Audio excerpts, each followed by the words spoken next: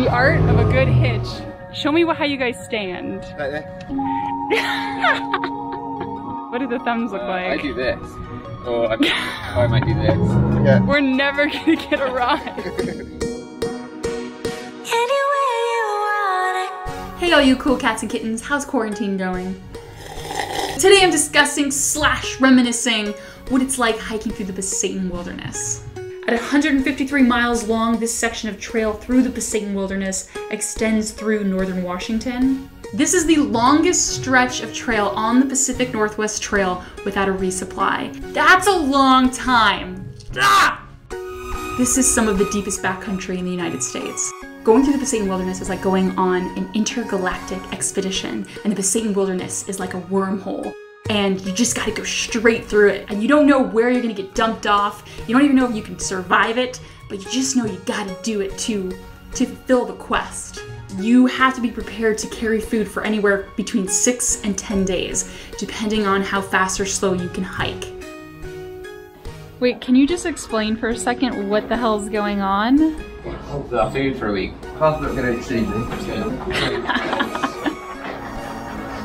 evening. Alright, I'm gonna, I'll check on you guys in a little bit. I, I have some food that I, I'm not gonna eat. I was gonna bring it over, but maybe you don't need it. So this is my food for like seven days. If you want remote, like if you like hiking and not seeing anybody, this is your trail. At the very beginning, I was absolutely horrified to do this stretch of the Pacific Northwest Trail. For one, I thought I was gonna be alone. And two, you're dealing with animals such as bears and wolves and tigers and aliens and Bigfoot. You know he's out there. You know he's out there. So I'm just gonna show you a little bit about what my experience was like. Right, let's freaking go. Fugitive bought some beer. This has to work. Bribing our future ride with delicious Bud Light. All right, we got a ride. Thank you so much. Yeah, thank you very much. Here we go. We're starting up Pasayten. My pack feels so heavy, like really heavy. Have fun. Thank you. The first day was everything I could possibly ask for. I did get a little lost. I didn't film me getting lost because I was really lost and I, I had to think. We'll see you guys. It should be beautiful. I'm looking forward to it. I remember I kept telling myself, you know, you're just you're just a day in. You can still turn around. You can still turn around if you needed to. It was helpful knowing that Nick and Patty were just ahead of me. It's our first camp tonight in Pasayten. Tell me what's on the menu tonight. Uh, tonight it is Mediterranean couscous with sun-dried tomatoes, salmon, Mediterranean curry couscous. Mediterranean curry. Sorry, This is how I bathe in the evening. I remember the first night there was a huge windstorm. All night.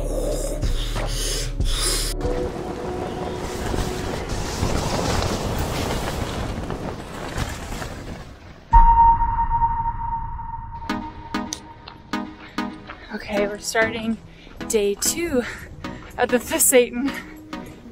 And shit was it windy last night! yeah, it was windy all night. Like, there were no breaks. I was waiting for a break, but it never came. The next day was one of my favorite hiking days on the Pacific Northwest Trail. Really started to move deep into the Pasayten Wilderness. I must say, this has been a great stretch of trail. I'm on a ridge, so just going up and down, just slightly. Very small hills, but my backlit. It's so far.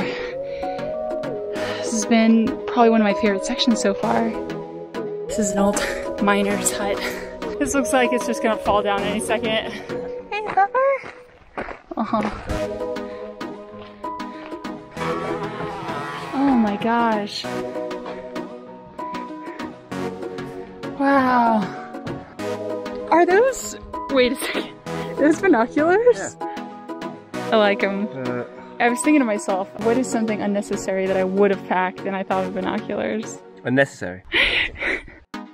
The trail was just so beautiful. You had these stunning just rock formations everywhere you looked. At some points, I really felt like I was on a different planet. Now you can see it. Wow. Freaking unbelievable. Makes going uphill the last like two hours worth it. Dude, check out these views. You gotta hike to see this. That's what makes it so amazing. At the end of the second day, I made it to Cathedral Lake. And I, I spotlighted Cathedral Lake in one of my other videos, but this was one of my favorite campsites on the entire Pacific Northwest Trail. Once I got to Cathedral Lake too, I, I felt this sense of it's gonna be okay. Like the fear I was feeling months before I'd even started the trail. You know, this section I was so fearful of, slowly it was being broken down and my realization was that it was it was nothing to be fearful about. You know, I think sometimes we worry about things that haven't even happened yet, and then when they eventually do happen, you just should have never worried in the beginning. Oh, the sun's setting. It's so pretty. It's so pretty. I just wanted to say that so far, this has been such an incredible experience. And man, it was my goal to get to the Idaho border, 250 miles. Um, I'm gonna hit 700, 700 miles tomorrow. Damn proud of myself. And then after that, I just feel like the ocean is so close, you know? Even though I gotta do another 500, I gotta keep going till I see water.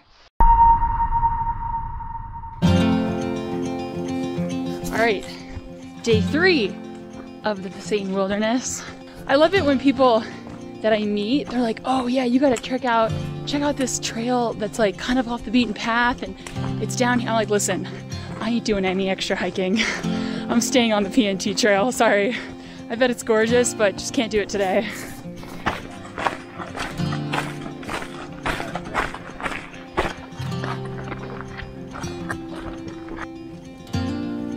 These pockets of prairies, and for the first time, you could see really, really far in the distance. On day three is when it really, really hit me just how far we were from roads or towns or people. I'm coming down now. All the rocks are like really, really wet, so I just have to be careful every step I take because if I fall wrong and like break an ankle or something, I'm gonna have to use my Garmin InReach to like get help, and they're gonna have to like fly in and like helicopter me out. Making good progress. It's almost noon and I've already gone almost nine miles, so. But no falling, no tripping. This is Nick's best piece of clothing. Oh my god. Real men wear rain skirts. I've never even heard of a rain skirt before. They're not, they're not actually that useful. I just like putting it on. Look at this. No, what does this do? And then I just like pull these up. You let him wear this in public? I encourage it. He thoroughly encouraged it. Wait, wait. Anything that makes me look worse. And it weighs nothing. And I look amazing. This is. Wait, The best look is when I pull it right up. stop it! No, no, no! Wait, this is so incredible.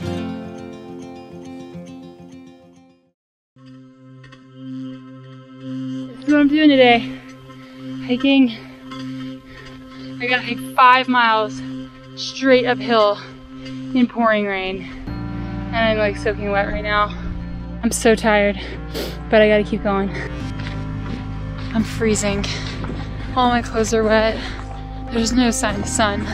I'm so cold. I'm debating just pitching a tent, but look at this. There ain't nowhere to pitch a tent. It's gonna be like 20 mile day today. Jesus. Check this out, look at this. I don't even know if I'm able to catch it. Oh, these mountains are beautiful. Blue sky for the first time today. Oh, yes! There was this time where the rain had stopped and the clouds were just sort of dancing around. You, you can see in the distance the mountains sort of peeking out over the clouds. I'm up on this ridge, and it's just, it's amazing how much this wilderness was burned. Uh, I know there was a big fire last year, but I think there was another one a couple years ago. I'm overlooking the like just beautiful mountains, just all burned. It's really sad. I hate seeing just burnt trees. Alright, day four of the Pasayten Wilderness. We're like right smack in the middle of it right now. The guys left really early and I just needed to sleep because it was a rough day yesterday. The sun is starting to come out a little bit. Let's go. A lot of the day was navigating. The Pacific Northwest Trail is not marked. You have to navigate a lot of it. This is just a perfect example of what you have to go through in doing the PNT. I am literally walking in a field right now and there's absolutely zero trail. Guthook is phenomenal. The app that you can download on your phone, that's what I've been using. Without that, I would be, I wouldn't have left Montana. Like, I, I praise Guthook. But um, sometimes people make these little like rock formation things. This has saved me so many times. So I'll see one of these in the distance and know I'm going in the right direction. If you get lost, you can always find your way. You just gotta be patient and, think, but you'll always find your way. I haven't gotten seriously lost yet, and this trail is not really marked. Um, so if I can figure it out, I'm sure you can too. This is it right here. This is the blowdown section that everybody kind of made notes about. So, and there's no trail, but I know I'm supposed to go in that direction. Day four, we had a river crossing. We freaking love river crossings. Oh, river crossings are honestly one of my favorite things.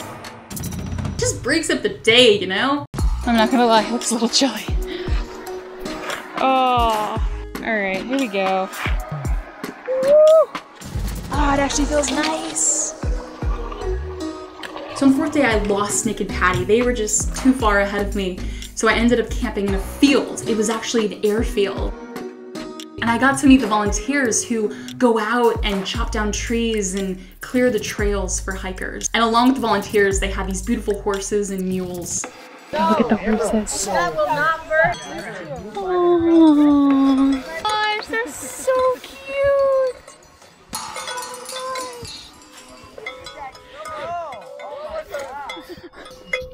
So these are the mules that carry the gear that all the um, the workers that are cutting down all the dead trees.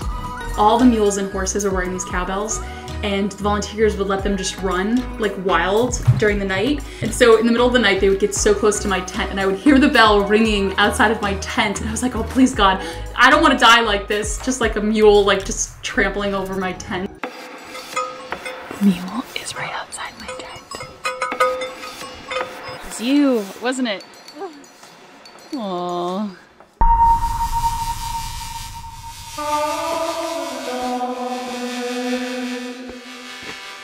Today's just really hard. I just don't feel like hiking today. It's just been soaking wet all day because it's just been raining since I got up this morning. And like my pants are soaked. My shoes are soaked. And I got like 0.5 miles until I my trail meets up with the PCT trail. And I'm just like just don't feel, I just don't feel like it. Hiking. I'm just tired. It wasn't that it was raining, but just the air was really moist and there were like trinklets of water in the air. Everything I was wearing that day just got so soaking wet. And like the brush was so high and the brush was soaking wet. So as I'm trying to move through the trail, it just, it just was a mess. It was a mess. I just want to like sit in my tent and like eat noodles put on some warm socks because this is just miserable today. When I got out of this really tough section of just wetness and steepness, all of a sudden I hit the Pacific Crest Trail, and that's a trail that runs from Mexico to Canada. So I'll be hiking south down the, Pacific Crest Trail. So that'll be exciting. I've always kind of wanted to check it out. Make a mental note Look at how beautiful this trail is. This is a gorgeous trail. This is a phenomenal trail. Look how wide it is. Luxury hiking right here. Doesn't get any more luxury than this. This section of trail where the Pacific Crest Trail merges with the Pacific Northwest Trail could be some of my favorite trail that I've that I've ever hiked. I see in the distance there's like this little trail that's going up this way. And I'm like, oh shit, that's where I have to go. You're just up on this ridge overlooking these valleys and then just the mountains and Oh my god, everything, it had rained so much, so everything was just this beautiful shade of green. It really is some of the most beautiful scenery I've ever seen in my life. Started over there, behind this mountain, came in, hiked all across here, up and down, up and down, up and down, to the top of here, came down, zigzag, zigzag, zigzag, to here, and now heading up, up, up, up over this ridge.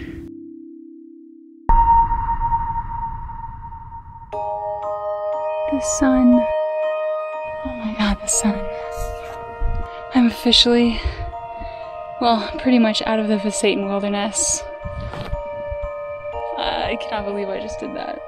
So, this is the situation. I ran out of food, and so I'm hiking an additional, like, 15 miles down the PCT to get to Winthrop, which is the next town, so I can get food and resupply, and then I'm gonna hitch a ride back to the PNT trailhead. As I was hiking down the Pacific Crest Trail on that sixth day, the sun came out and I, I, I don't know, I was like, I was so excited because I knew the hardest part of the Pasayten Wilderness, the section of trail I was dreading the most was over.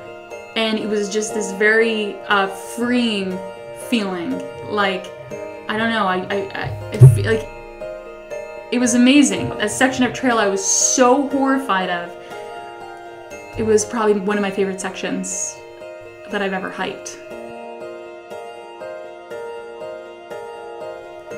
The next level or the next challenge ahead of me was the North Cascades. I knew nothing about the North Cascades. After the North Cascades is the Olympics. I knew nothing about the Olympics. I put all my energy and my my fearfulness into the Pasayten wilderness. And then I eventually made it to the town of Winthrop. I talked to a couple friends who were about a week or two ahead of me on the Pacific Northwest Trail.